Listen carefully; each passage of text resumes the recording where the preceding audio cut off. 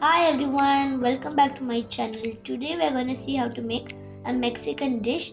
So before starting, let's see how to pronounce the dish name. Quesadilla. Que sa dilla. Quesadilla. Isn't that funny? So today let's see how to make a paneer cheese quesadilla. It's a simple breakfast uh, recipe.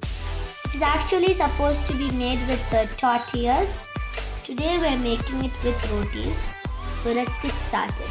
In a pan, let's take some butter, add some oil, add a half teaspoon of cumin seeds, two chopped onions, saute it well till the onions are golden brown. Now the onions are golden brown, add half chopped capsicum, Mix it well. Now add 1 cup of paneer. I've cut them into cubes.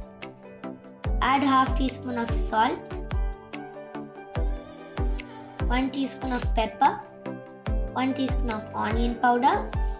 Half teaspoon of garlic powder. Onion powder and garlic powder are optional but it gives taste. Add 1 teaspoon of soy sauce. 2, te 2 teaspoon of tomato sauce now the paneer stuffing is ready. Let's prepare the spread.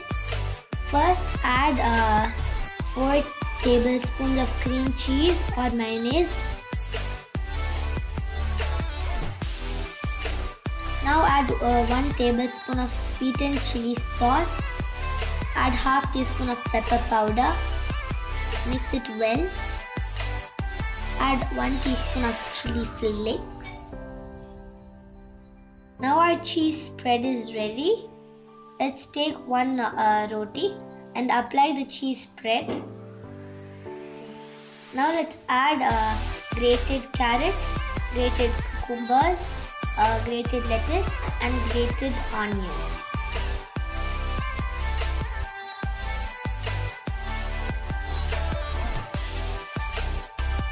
Finally add the paneer uh, filling which we made now. Now we are going to load it with mozzarella cheese. The more you add mozzarella cheese, the more it comes better. Now roll it and let's toast it. Add some butter and toast it on both sides. Close the lid uh, so that the cheese oozes. Flip it and apply the butter. And now the cheese is oozing and the smell is really nice and it's very tempting to eat it. Now our paneer quesadilla is ready. So thanks for watching. Please subscribe to my channel and I hope you enjoyed my video. So please like, share and subscribe to my channel and don't forget to support me as much as you can. So bye friends.